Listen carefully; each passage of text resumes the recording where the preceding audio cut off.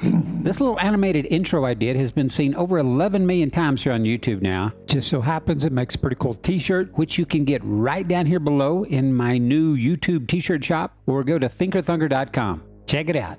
And in today's video, normally I don't get into photographs because they can be edited, they can be altered a million times easier than video can. But this photo just keeps coming up. It's called the Alberta Bigfoot photo, and it's like one of these illusions, a mind trick, where some people swear they see a bear or a big dog, and others swear they see some big giant furry thing lounging in a meadow. Now, my goal here isn't to prove that it's a Bigfoot, but I will prove that it's not a bear or dog or anything like that. Let's go check it out. now, here's what I see. And this 3D model is a gorilla. It's not a Bigfoot, but it's a very natural primate pose. He could be he could be having a snack there.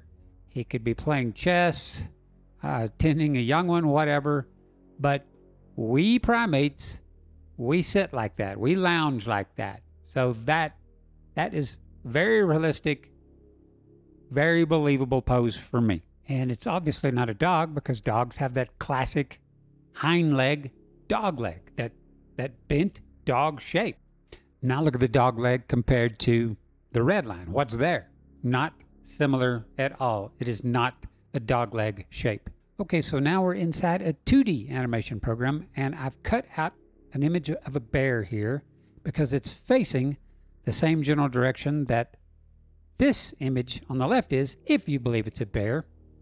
And I've also given this guy some bones so that we can bend it around some. And we'll just get that back leg back there a little. And this hump, this, this is the first problem. Here's what this bear would have to be doing. Some, something like that. That, that's not bending its back.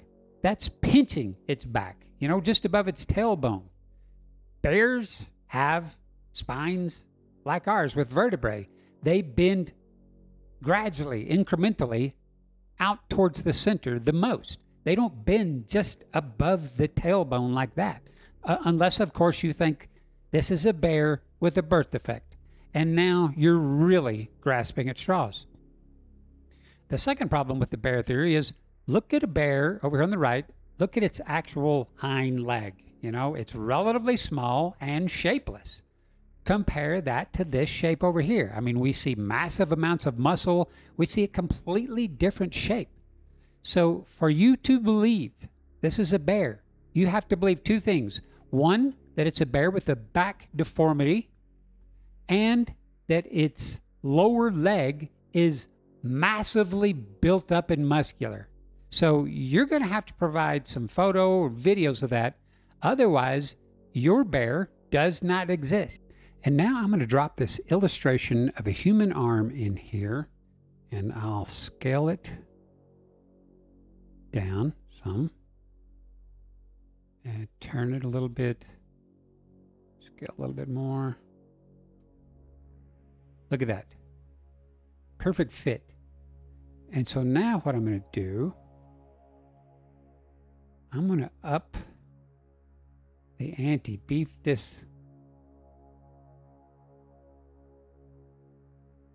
muscle up a little, or not a little, a great deal to show us just what we're dealing with. Something about like that. Look at that. That is a fit, a perfect fit. All those muscle groups lining up. Even if you think that's a man in a suit, they did, what an amazing job they did laying in all these muscles for that suit just to get one shot of it sitting out there with its back to us. Show me that suit. Prove that.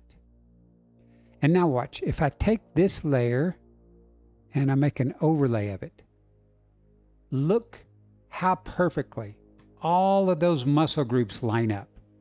Okay, so now, was this photograph digitally enhanced? So what I'm going to do, I'm going to drop this out here, and I'm going to just simply start pushing the levels here on the exposure. And, and something funny happens when, when you do that. It shifts the photograph and kind of reveals the dominant color. See that kind of purple hue that's that's everywhere. Uh, maybe it was the, the color of the light at that moment, or maybe it's a characteristic of the camera, but that dominant color becomes kind of like a fingerprint for that photograph, a little telltale sign that that can't really be faked unless you purposely go in and change the color of it. And we'll try that again, looking at these penguins. Pushing the levels.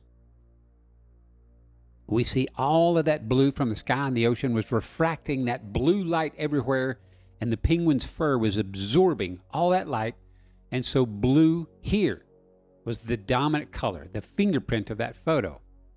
And if we look at this, well, it's pretty easy to tell what the dominant color here is. It's green, and all of that green is just refracting and bouncing around everywhere, getting absorbed into that bear's fur.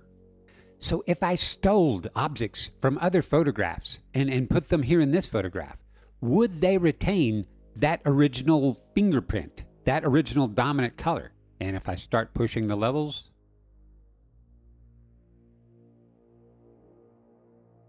yes, they do.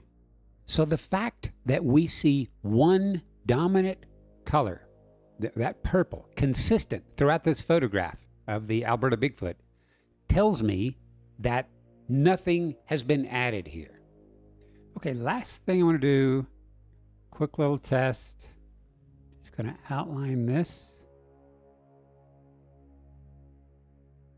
Okay, now I'm going to flip that horizontally See that flip horizontal?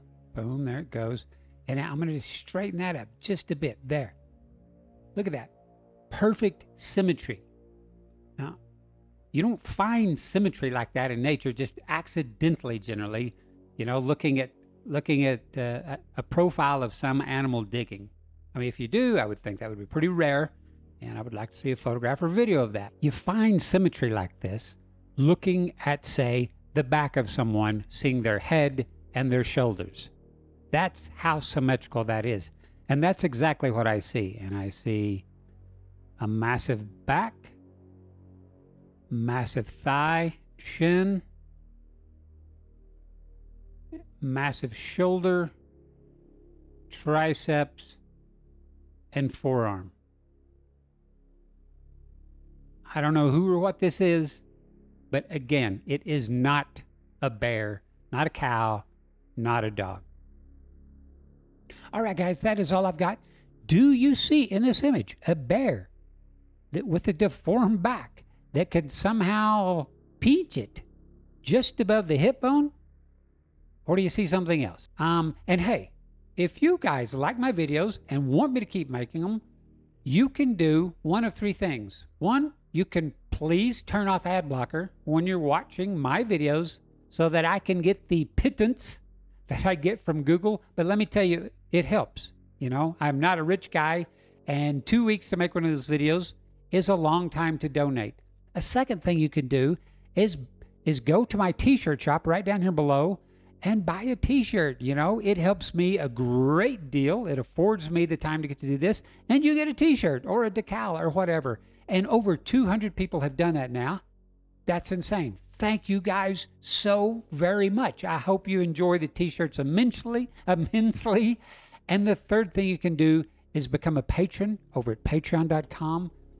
All I ask is $1 a month. Some people will, some, they'll pitch in a dollar a month for three months. That's great. I appreciate that so very much. Some people pitch in more. I don't ask them to do that. They're, they're just that generous. But I'll tell you what they're doing. They're helping make sure that I can afford the time to make these videos. You know, I am not a rich guy. All right, please weigh in. Please comment. Please keep the comments clean. We've got kids, families that watch these and read through the comments. And also, please subscribe and hit the little bell button down there to get notices. Please subs- uh, please like and please share my videos online.